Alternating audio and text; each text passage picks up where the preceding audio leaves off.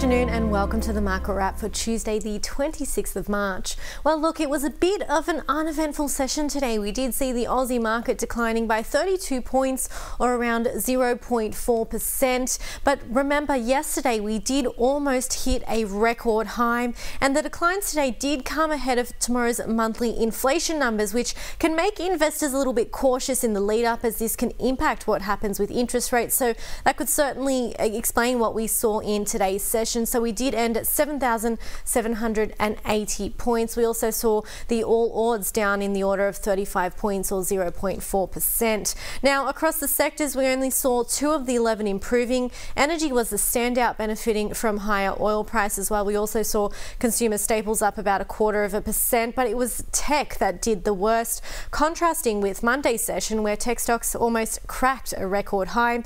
Materials were also a big drag with broad losses across the sector, except for gold miners, which actually improved a little bit today. Now, in terms of individual winners, energy stocks made up much of the top performers list. Woodside was up almost 1%, while the smaller players did even better. Karoon Energy was the top performer, lifting by 6%, while Beach Energy rose by around 3 Retail giant Premier Investments hit a record high during today's session. This is the company behind brands like Peter Alexander, Smiggle, Just Jeans, JJ's and a handful of other retailers. Its shares ended among the top performers following news that it plans to demerge its Smiggle and Peter Alexander brands as part of a business-wide strategic review.